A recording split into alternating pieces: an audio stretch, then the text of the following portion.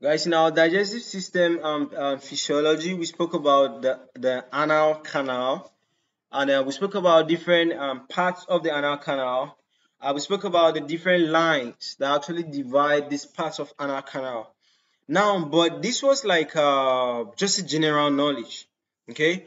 But you know that in um, in cases of like tests, exams, assignments, most questions that come is uh, differences. Okay? If they teach you about similar things, the next thing is differences. Okay, so now on the basis of this, we'll be discussing the differences between the pectinate line and the white line of Hilton. Both are in the anus, okay, but what are their differences? It's a very good question. The question is based on anatomical location and anatomical significance, differentiate pectinate line and white line of Hilton. So looking at this side, looking at this side, guys, um, this is a pectinate line. I would say that the pectinate line, can you see that? I would say that this line is below the what? Anal valves. While the white line of Hilton is what? Found in the pecten.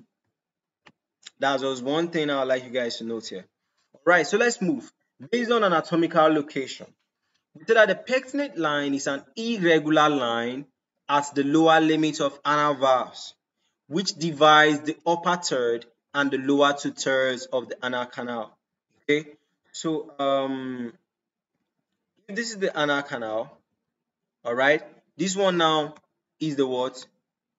Upper one third, okay, because it's smaller. This one is longer, okay, so this is the lower two third, okay. So the line dividing it is the pectinate line, okay, while the Hilton's line is located at the lower limit of the pecten at the internal at the interval between the subcutaneous what external anal sphincter and the lower part of internal anal sphincter.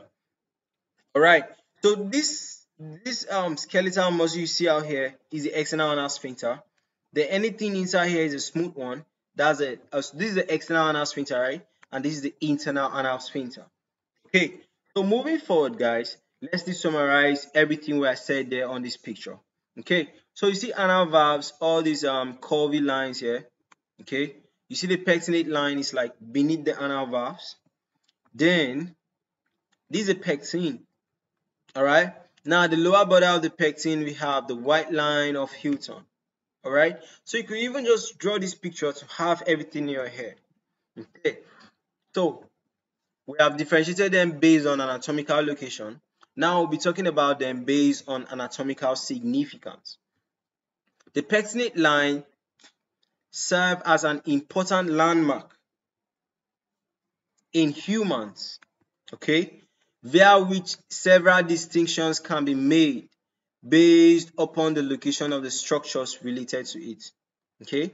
While the line of Hilton, the white line of Hilton, is an important anatomical landmark beneath which the intersphincteric groove, that's the groove between the what external anal sphincter and the lower part of the what internal anal sphincter. This groove can be palpated during examination of the anal canal.